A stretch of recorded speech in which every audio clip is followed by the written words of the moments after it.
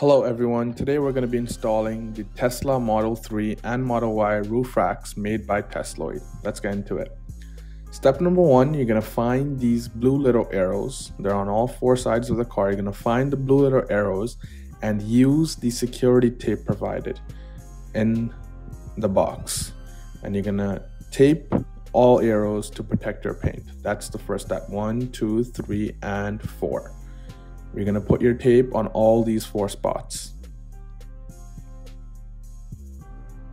So once you're done installing the tapes on all four sides, on all four corners, what you're gonna do next is install the connectors.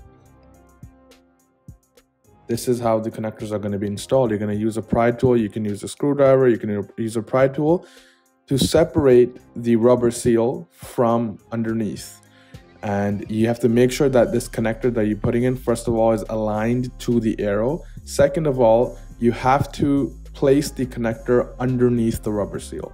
Not over it but underneath. This is a very important step that you must follow. You can see i'm using a screwdriver to separate the seal so i'm inserting the connector underneath the seal on all four sides. Please make sure that your arrows are aligned with the connectors. This is how you're going to make sure that your fit is flawless.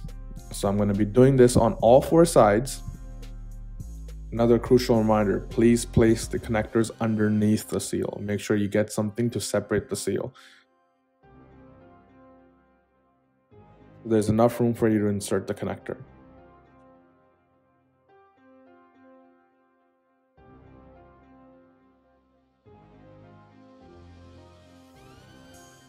The next step is to grab these silicone pads. They're all numbered. So L1 means left front. And make sure you place it like this where the flat side is facing outside the car and the irregular side or the curve is facing inside. So L1 means left front, L2 means left rear, R1 means R right front, and R2 means right rear. Make sure you get this right. It's very important.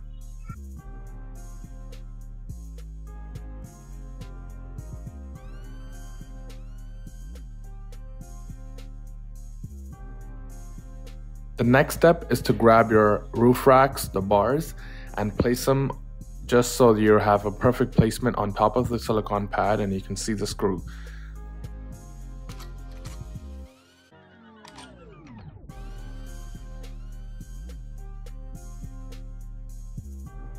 And make sure you do this on all four sides. This is the second bar and then once it's placed properly, you can see the screw. The next step is to screw it tight together.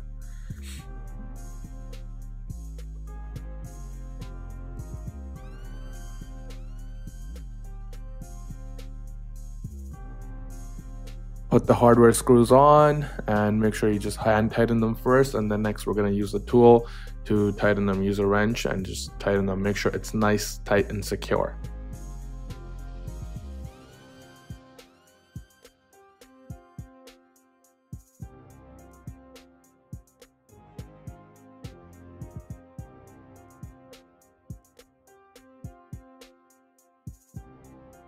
So this is being done on all four sides. Once they're all tight, the next step is to put covers to hide all the screws.